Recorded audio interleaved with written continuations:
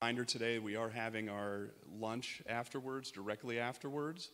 And uh, so we're excited to spend time together as brothers and sisters in Christ. And um, hopefully, some new folks will be here that um, join in our fellowship. And just on that note, we're going to have another one in two weeks. It's going to be a spaghetti dinner. And Jeff asked me, yep, that slide right there. So it's going to be a pasta bar after church again, right after the service. Um, make sure that we actually show up for the service, and then we can all go down there and, and fellowship together. We won't kick you out if you don't, but you know, the goal is to meet together as brothers and sisters in Christ. And other announcements we have um, this week, uh, there's going to be a God sighting study still, I believe, yep, on Thursday. And that's uh, January 4th at 6 p.m. here at the church. And then men's basketball is on Saturdays at 9 a.m. to noon. So that's starting this Saturday. Um, we do have uh, Sylvia Zenius, one of our sisters here. Her son passed away. Uh, he had a long illness and he passed away on December 26th. So, Sylvia and family, our thoughts and prayers are with you uh, for the Lord's comfort through all this, these times ahead. Um, men's Bible study, Sunday the 7th, is going to be at 6 p.m. here at the church, and then Sunday, January 21st at 6 p.m. And there is a women's fellowship meeting on January 16th which is a Tuesday at 10:30 a.m. So if you're able to attend that, um, just making sure here. Um, there's a Cornerstone Sunday School class social event. So Denny, is that okay? So that's going to be on Saturday, January 13th at 5:30 p.m. at the Village Inn restaurant in Norton. So if you know where that's at, be there. Uh, it says bring a wrapped gift for a white element, right element, elephant gift exchange. And this should be something that you already have at your home. So you don't have to go out and buy something, but you know, if you got an old something there, a knickknack or whatever, wrap it up. It, it's, it's for fun. So come for the food, the fun, and the fellowship, and see Denny for the sign up sheet if you plan on attending. Denny's over here. And we have large print issues of our daily bread, plus the regular ones are out there. So help yourself if it's, you want something to read through and do a devotional. And is there anything that I missed? Nobody's throwing anything? Okay. All right, and if there's nothing else, we will continue in worship. Sorry, I to tell you guys to sit down. I don't have to stand up. Let's continue to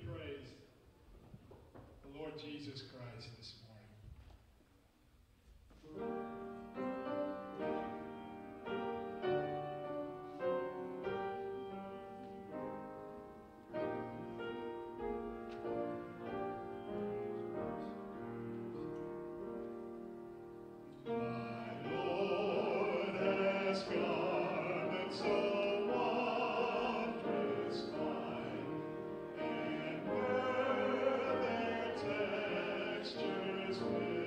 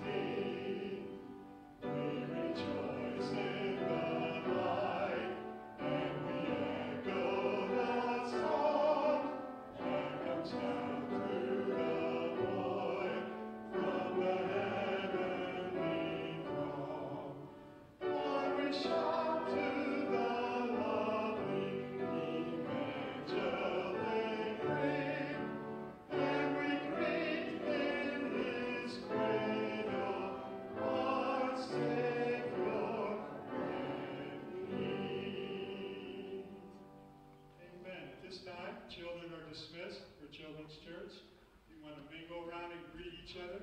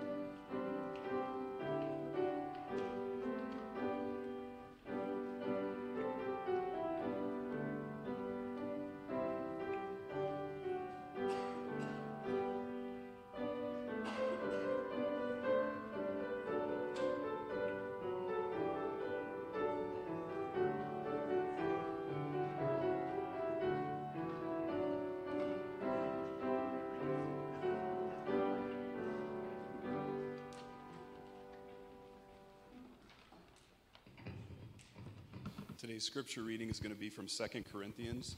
And we're going to be in chapter 5, and it's going to be chapter 5. So if you want to, if you have a Pew Bible in front of you, it's going to be on page 142. Page 142 of the New Testament if you have a Pew Bible. If not, if you got your own, it's going to be 2 Corinthians chapter 5. For we know that if the earthly tent, which is our house, is torn down, we have a building from God, a house not made with hands, eternal in the heavens. For indeed, in this house we groan, longing to be clothed with our dwelling from heaven, inasmuch as we, having put it on, will not be found naked. For indeed, while we were in this tent, we groan, being burdened, because we do not want to be unclothed, but to be clothed, so that what is mortal will be swallowed up by life. Now, he who prepared for us for this very purpose is God, who gave us the Spirit as a pledge. Therefore, always being of good courage, and knowing that while we are at home in the body, we are absent from the Lord. For we walk by faith, not by sight. We are of good courage, I say, and prefer rather to be absent from the body and to be at home with the Lord. Therefore, we also have as our ambition, whether at home or absent, to be pleasing to Him. For we must all appear before the judgment seat of Christ, so that each one may be recompensed for his deeds in the body, according to what he has done, whether good or bad. Therefore, knowing the fear of the Lord, we persuade men, but we are made manifest to God. And I hope that we are made manifest also in your conscience. We are not again commending ourselves to you, but are giving you an occasion to be proud of us, so that you will have an answer for those who take pride in appearance and not in heart. For if we are beside ourselves, it is for God. If we are of sound mind, it is for you. For the love of Christ controls us, having concluded this, that one died for all, therefore all died. And he died for all, so that they, may, they who live might no longer live for themselves, but for him who died and rose again on their behalf. Therefore, from now on, we recognize no one according to the flesh. Even though we have known Christ according to the flesh, yet now we know him in this way no longer. Therefore, if anyone is in Christ, he is a new creature. The old things passed away. Behold, new things have come. Now, all these things are from God, who reconciled us to himself through Christ and gave us the ministry of reconciliation. Namely, that God was in Christ reconciling the world to himself, not counting their trespasses against them, and he has committed to us the word of reconciliation. Therefore, we are ambassadors for Christ, as though God were making an appeal through us. We beg you on behalf of Christ, he reconciled to God. He made him who knew no sin to be sin in our behalf, so that we might become the righteousness of God in him. Let's go to God in prayer. Our Father, we thank you so much for your word. We thank you for preserving this Bible for us throughout the generations that we can know you. And Lord, just bless Matt as he comes forth and, and proclaims the word of God to us. Holy Spirit, open up our hearts to what your message is for us. And Lord, we just ask for continued grace, which you promise, Lord, but we ask that your kingdom grow and that people that don't know you know you today. If there's someone here, Father, who is not saved, make today the day of salvation. And Lord, we, we will give you all the praise and glory. And it's your name we pray. Amen.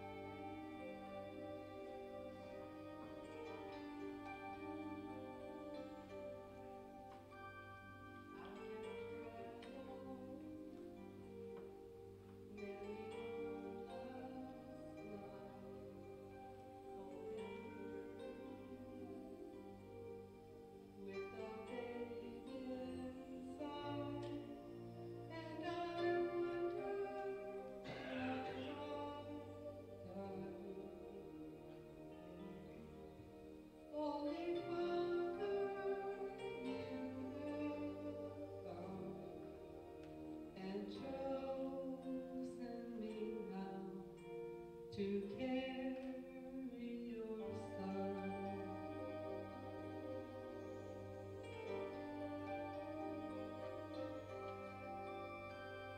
I am waiting in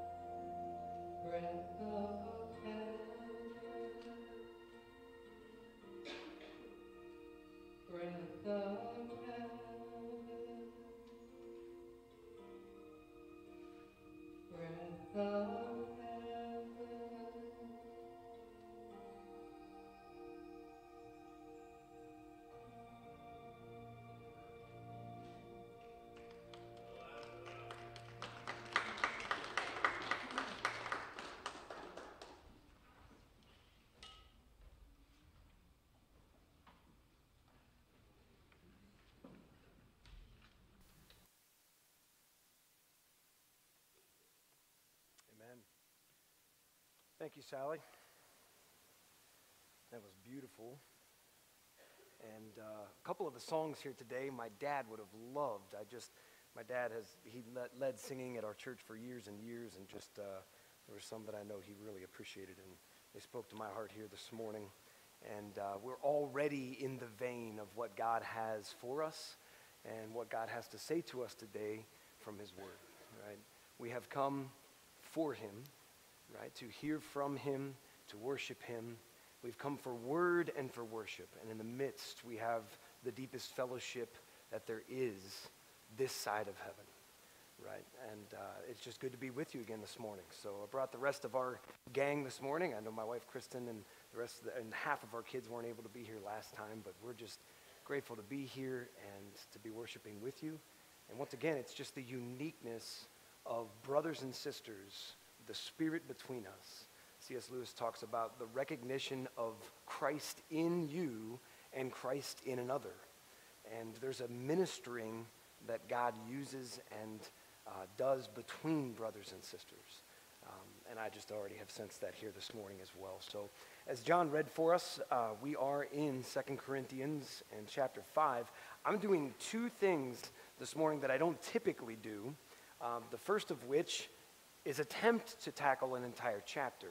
Uh, that is not my MO, to be honest with you, but the more I looked at this passage, the more I really hope to be able to draw a few key points out of this passage together for our day today, which is New Year's Eve, and for the year to come, and for the remainder of looking forward in our lives here on this earth. And then, secondly, I don't like to get too, I don't even know what the word necessarily is, but you know, we're looking into a new year. We're looking into 2024, which my son Jackson said yesterday. He's like, I cannot believe that it's 2024, right? And he's saying that at the age of 14, and I'm saying that at the age of almost 40, going, yeah, buddy, I, I know. This is, this is unreal. We're, we're continuing, right? Because time does march on. I want to approach this passage with a sense of looking forward. I do. Um, this is not simply a New Year's resolution sermon, so hopefully you can remove that from your minds. I think it's good for us to set our minds on things, but we're to set our minds on things above, right? Um, and I hope we can do that together as we look into a new year. So, I hope your Bibles are turned to 2 Corinthians 5. Let me pray uh, over this time and text, and then we will dive in together. Father, once again this morning we are faced with a mystery. And it's not just a mystery that is unknown and unreachable and somehow out of our grasp, but no, this mystery is Christ. And as we have celebrated him uh, in these recent days, we celebrate him again this morning that he made himself known to us. Out of ivory palaces, he descended into a world of woe. And Father, as already has been mentioned this morning, this world of woe is a world that we see and face every day. Help us through the truth of your word today to know how, Lord, to wake up, to go out the door, and to face this world in the name of Jesus and with hope eternal. We pray this in your name. Amen.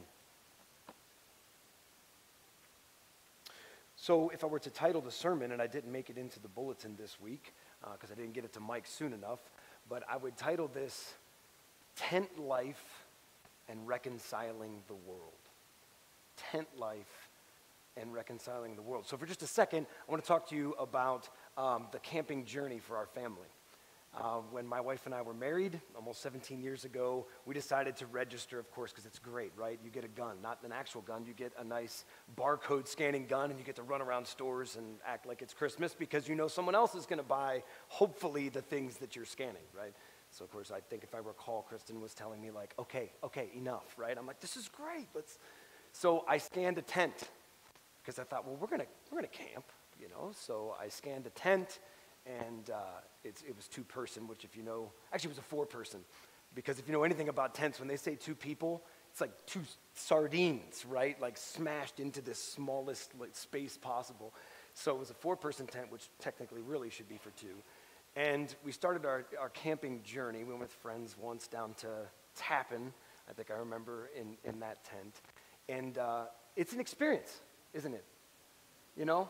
I mean, have any of you, raise your, have you guys tent camped? Anybody? Oh, yeah, all right. Okay, this is good. So you know what I'm referencing when I speak of tent camping and then tent camping in the rain, right? If there's one thing that can ruin camping while, while in a tent, it's rain, especially if it just continues, because that waterproof canvas is only going to last so long. And sure enough, that rain starts dripping, and there's really not much you can do about it. So wet tent camping is about, oh, but uh, yeah. So we then graduated beyond that, though, and at one point we got a fifth wheel, kind of an old one. Then we got a nicer fifth wheel, and then we realized we couldn't afford that, so we sold it.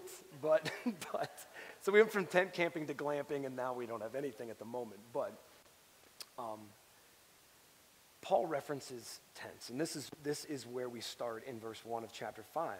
It's unique. He uses this analogy. He says, For we know that in the tent that is our earthly home, if our tent that is our earthly home is destroyed, we have a building from God, a house not made with hands, eternal in the heavens. And just like Paul likes to do, he is using the tent analogy not for the building, right, that we are actually in. We're talking our actual bodies. He's referencing what it is to be on this earth, this side of the glory, in, yes, a sin depraved world, and feeling those effects daily. Those effects daily. Because just prior in chapter 4, he speaks about not losing heart. Why? Because our outer self is, yes, wasting away. Wasting away. The reminder daily. Now, I played a little bit of basketball with my son yesterday, which we had a great time doing so, but my body was telling me that this morning when I tried to get out of bed, and I mean it. Um, I, I, had to stretch in order to like get to the bathroom. It, it is, right, it's a reminder daily that we are in earthly bodies, tents, as Paul says. But he says, if this tent that is our earthly dwelling is destroyed, we have a building from God. Not a house made with hands, but eternal in the heavens. For in this tent we groan. Now, if you were with me just a few weeks ago when I was here, we discussed in Romans chapter 8 what it is that the Spirit is doing within us. Remember? That the Holy Spirit helps us. Why? Because we groan. Why? Because this is not our home. This is not our home. Our bodies know that this is not our eternal dwelling. It even spoke in, in Romans 8 about the earth groaning, right? Creation itself is waiting for the redemption of us, for the redemption of true creation to be in its eternal glory. So, do you ever find tent camping something? It's interesting, isn't it? Because you leave your house, you pack up a bunch of stuff that's kind of in your house, some again more than others, whether you're glamping or camping, and you head out and you go sit in practically a field. Maybe it's beside a lake. I, I particularly have to have water when I camp, to be honest. But okay, you're there, and then you all set up your temporary home right? And you get it all together and you have you can wash your dishes and all these things and you're hoping to take a shower at some point in time, right? But you're not home. You are in a temporary dwelling. And this is one of the first things that I'd like our hearts to hear this morning is that this is not your eternal home. I hope and pray that you know what it means to long for something greater than and other than this world. Christmas has just taken place. I pray that you received a gift at some point or from someone, and I'm sure it was wonderful. You appreciated that expression of love, and some of you really like to give gifts, right? Because that's your love language. And yet, sorry, I just got a look from Paula. I'm sorry, that's great. I was like, yes, yes, absolutely.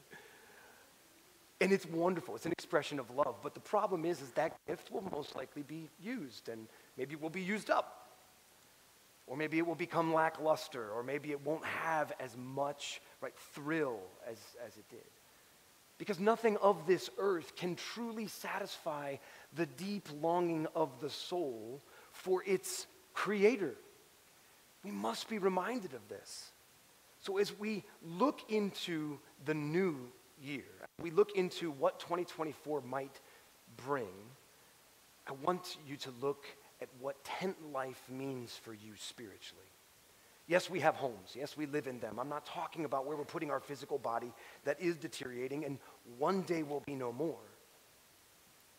I'm talking about our spiritual attitude, our spiritual walk as we wake up every day to understand that this world is not our home. There is a tension in our faith, brothers and sisters, a tension. This is the uniqueness because we have victory in Christ. Amen? We have victory in Christ.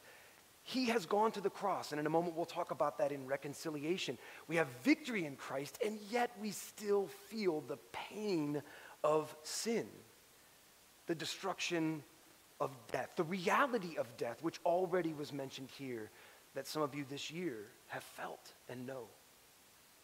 And so we hold the truth of Christ in one hand and the truth of being in this world in the other. We already are in Christ and are not yet with him. This is the tension of our faith. But as we begin to think about tent life, what does this mean for your daily living? What does it mean to not put your hope and trust in things of this world? The psalmist says, We don't put our hope in chariots, we don't put our hope in horses, but we trust in the name of the Lord our God, right? We do not put our hope in the things of this world. And so, we have hope. You have hope today. For those of you in Christ Jesus, you have a heavenly dwelling that is prepared for you. And when you die, when this body, right, that is failing us daily, right, day by day, some more than others, when we pass from this earth, we will know what it is to be in the newness of Christ. To be absent with the body is to be present with the Lord, Paul tells us. So, if anything, this 2024, this year ahead of us, can be a year of hope living in the knowledge that we are not home. We put our hope in the heavenly dwelling that is waiting to be ours. For while we were still in this tent, we groaned, being burdened, Paul says, this is verse 4, not that we would be unclothed, but that we would be further clothed, so that what is mortal may be swallowed up in life. And he who has prepared us for this very thing is God, who has given us the Spirit as a guarantee. So, be of good courage. Do you ever find that the looking back, because at this time of year, right, we do a lot of looking maybe forward, maybe putting some things down, maybe saying this is what I intend to be or change or, right, something I'd like to accomplish. There's nothing wrong with that. But then we also do some looking back right? My Spotify on my phone tells me, here's what you listened to in 2023. And to be honest with you, I'm like, I don't really care. I just want to listen to my next podcast. But, anyways, right? There's all these things. Looking back, here's what 2023 held. Problem is that sometimes nostalgia and looking back can cause us to see things with a silver lining that makes looking forward very negative. You know what I'm saying for a minute?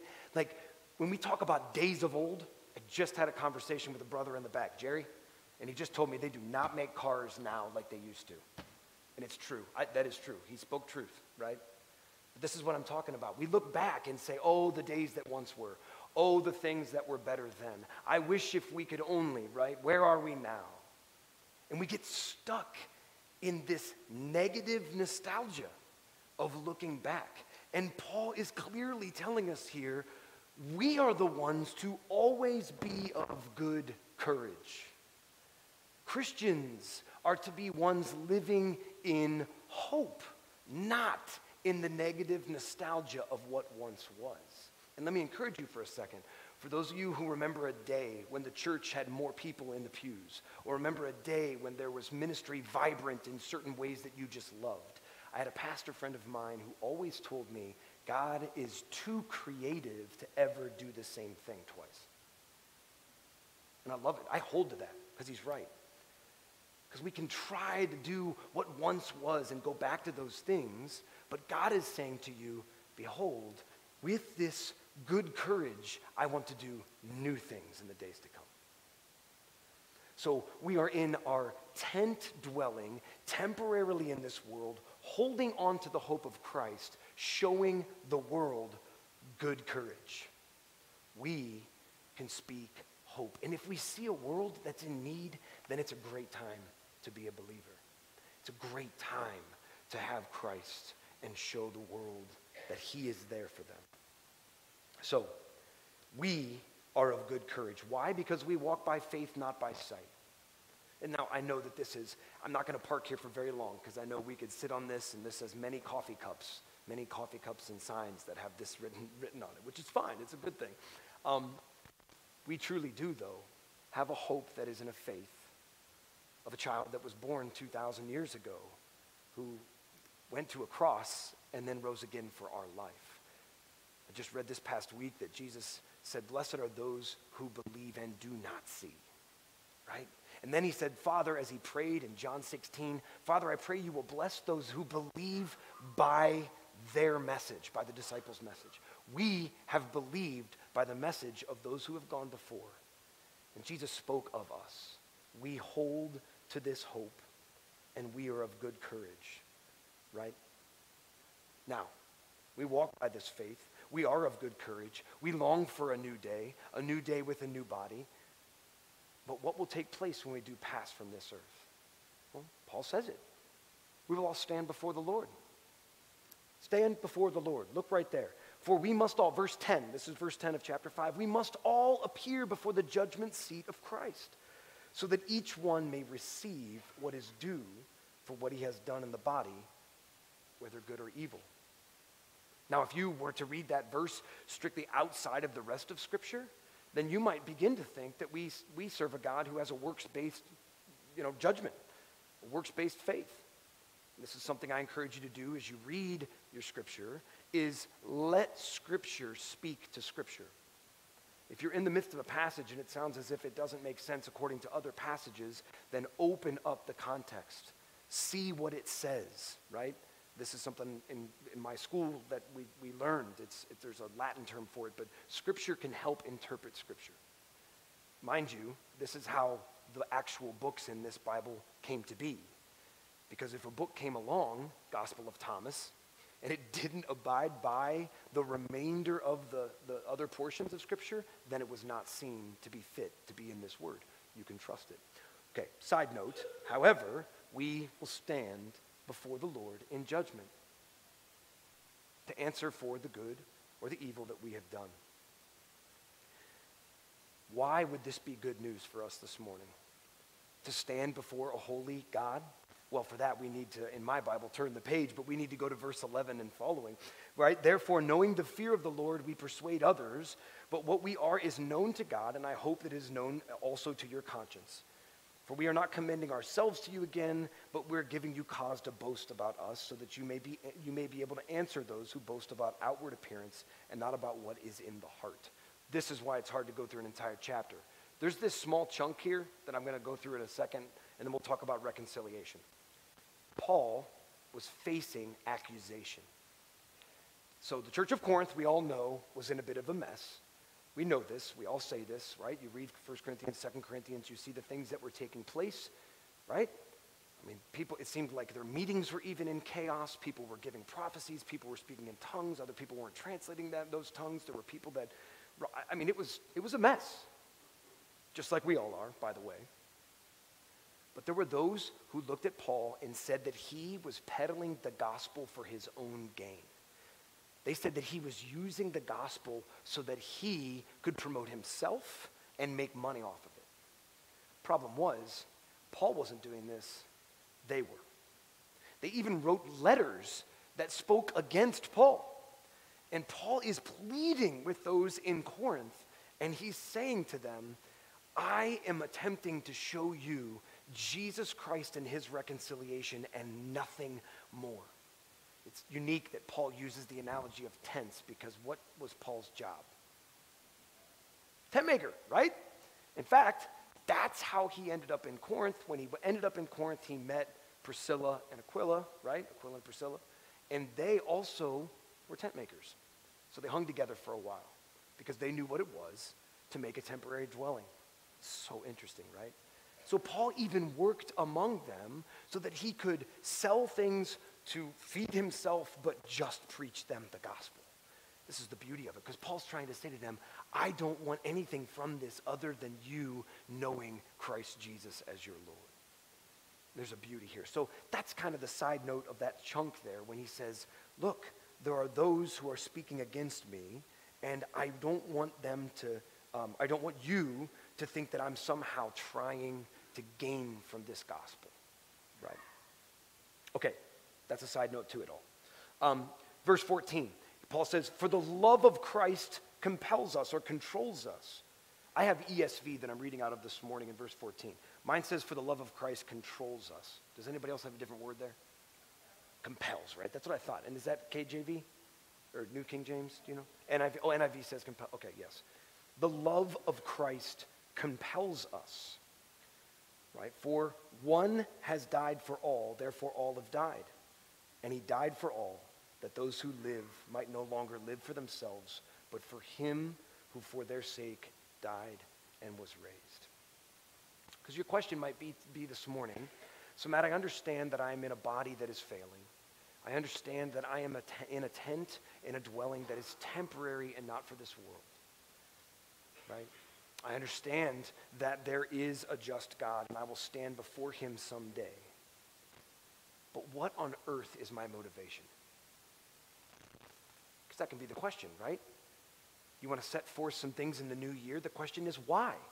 Well, maybe for some of you, you have some health concerns, and therefore you know you need to focus on your health, and there's your motivation. I want my body to be healthier. I want to live as long as I can, to be with my family, to be with brothers and sisters. So I'm going to work on my physical health. There's my motivation. Right? Paul says that his motivation is one thing it is the love of Christ. The love of Christ. And here's where we get to this final and kind of summit of this passage, but I want to talk about reconciliation. Jesus Christ left equality with God. The ivory palaces that we sang about. He did not consider equality with God something to be grasped, but he lessened himself. He lowered himself. He humbled himself, descended, right? Not just as a man, but as a child, a helpless baby to be taken care of, to be fed, to be changed, to learn how to speak, to learn how to walk, to know what it is to skin his knee, right? To grow up just like you and me. And he did so without sin. The sinless Savior, this chapter is going to end on it. The sinless Savior raised by Mary and Joseph then chose to go to the cross for you and for me. In fact, for the entire world. Why? Because if you and I were to stand before a just God and have to answer for the right and the wrong that we did in our lives, none of us, none of us could stay in the presence of a holy God. In fact, so much so that Romans says that sin is death. We know it. This is what we're speaking on. But the wages of sin is death, and we deserve it. To sin is to be separated from a holy God, and the, the trajectory of your life is death. But God, right? But God sent his son. He knew that you and I could not meet his standard of righteousness. Therefore, he said, I want my creation to be reconciled with me. What does this mean? I want my creation to have a right relationship with me. You know what this means. Some of you know what it means to have a reconciled relationship because maybe there was a time in which you did something against someone that you know and love, or they did something to you. And words had to be exchanged, and forgiveness had to be given, right? And then there was a reconciled relationship. It's a beautiful feeling. Some of you might be still waiting for that day in some of your relationships. I'm telling you today that Jesus Christ is able to reconcile you to your Creator. And, brothers and sisters, I pray this truth is known in your heart and in your life because that is the starting point of life. Jesus Christ came. He didn't come for those who already had it together, He came for the sick, He came for the poor, He came for the needy, He came for me and you. And He gave us His life. But see, He died on a cross for sin, for all the sins of the world, and then He rose again, right? He defeated this death. This is how we can look at death in these bodies. This is how in 1 Corinthians 15, Paul can say, Where, O death, is your victory? Where, O death, is your sting? Because Jesus has defeated death. Amen? Amen. And this is the life of reconciliation we now get to live. Paul is compelled by the love of Christ. I get up in the morning because I have a job. I get up in the morning because I need to help take care of my children, even though my wife does that much more than I do. I need to get up. Why? Because the love of Christ compels me on to the hope of glory, not only for my life, but for the life of every person I speak to each and every day. From now on, therefore, verse 16.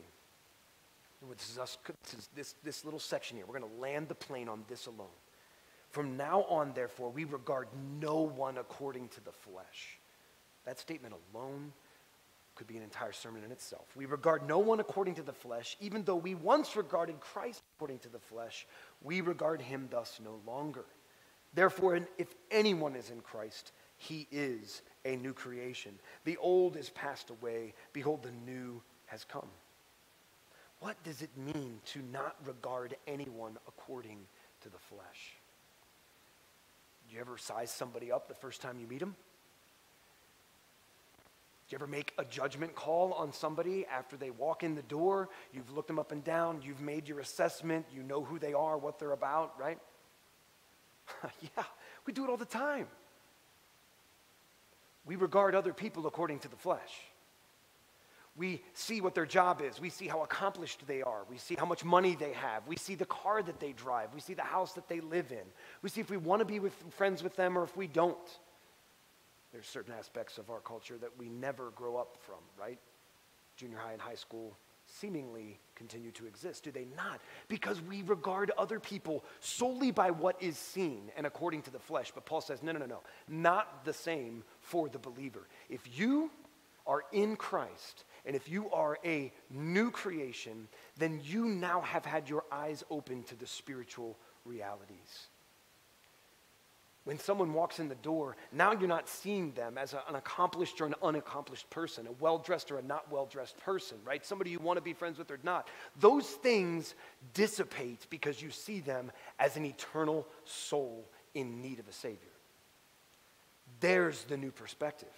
There's the waking up in the hope of glory, compelled by the love of Christ, to speak to someone that maybe you never would have spoken to before.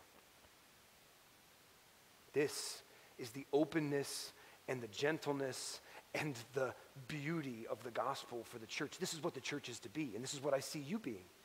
This is the welcomeness that I see you opening up your doors, right? Having food for people today, even just bringing them in because we want to get to know you, speak to you, let you know who Jesus Christ is.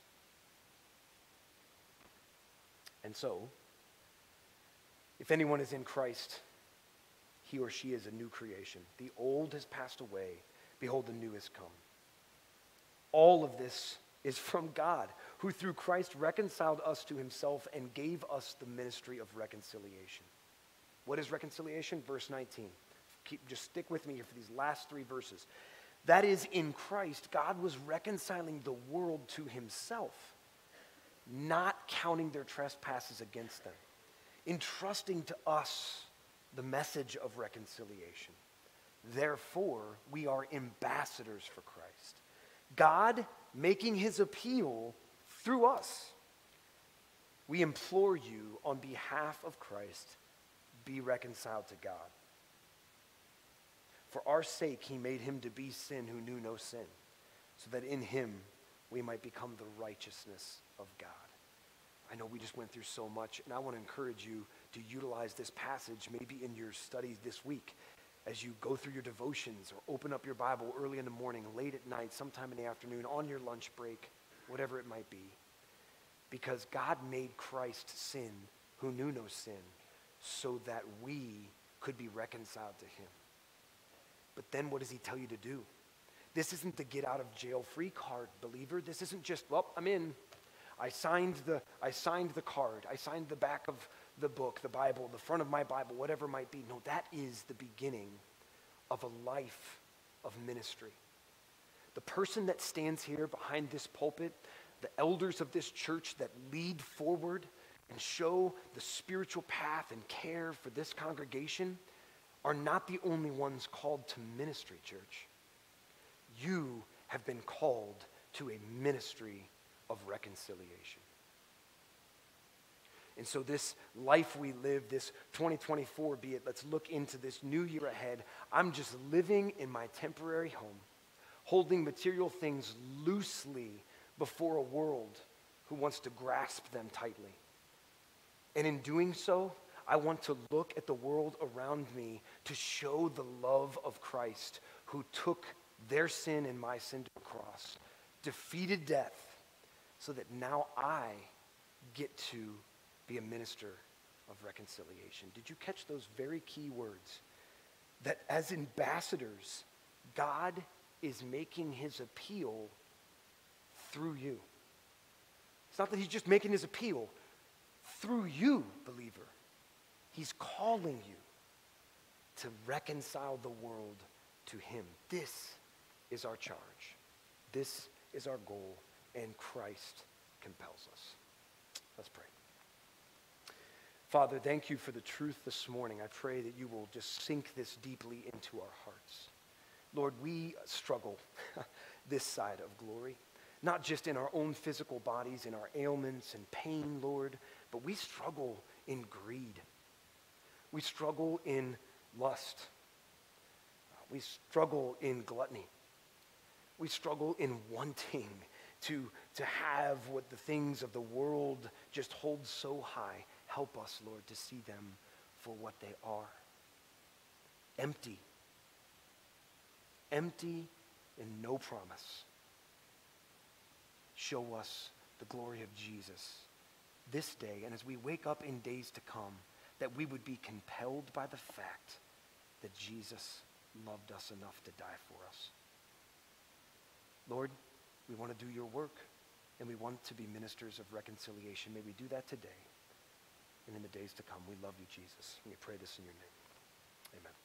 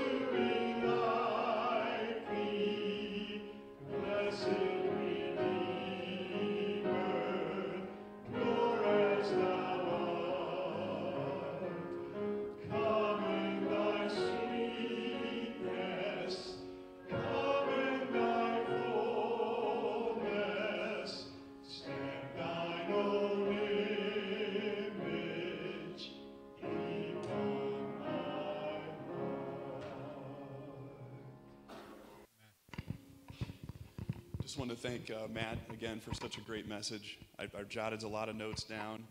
And um, the past few times I've given the benediction, I've been reading what I know my sister sang and I sang in New Horizons. It's um, at the end of Numbers chapter 6. The Lord bless you and keep you. The Lord make his face shine on you and be gracious to you. The Lord lift up his countenance on you and give you peace.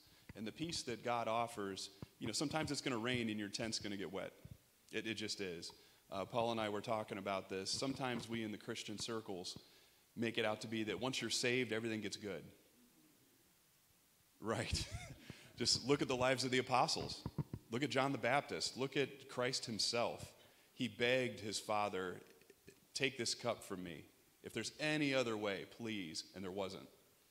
So it may rain on your tent, water may get in there, but the Lord is going to give you peace. And the peace comes from what Matt was talking about that this is in our home. And not to have Sermon 2.0, but I, I was, we were really blessed by his message. Thank you. So let's go to God in prayer, and I'll, I'll pray for our, our, fellowship down there. If you're able to stay, come on down, and we'd love to, to fellowship together, break bread together, and um, let's, let's go to God in prayer. Our Father in heaven, thank you so much, Lord, for what you've done. And Lord, um, if it's raining on someone right now, Father, give them the peace that only you can give. Because, Lord, the, the world should look at us as sinful people that go through hardship as well and say, How are they holding it together? Um, Lord, it's through your peace. It's the only the peace that you can offer. And, and just knowing that we do look forward to the heavenly home that you have gone to prepare for us. And Lord, help us to be great stewards of what you give us here on earth, but at the same time, help us to be willing to give everything back if that's what you require. Lord, give us the, the heart that is willing. And the Apostle Paul said, Father, that if I do all these great things, but I don't love, it's worthless. So, Lord, drill into our hearts with the Holy Spirit and help us to love those that the world doesn't. And Lord, help us to give you all the praise and glory. It's in your name we pray. Amen.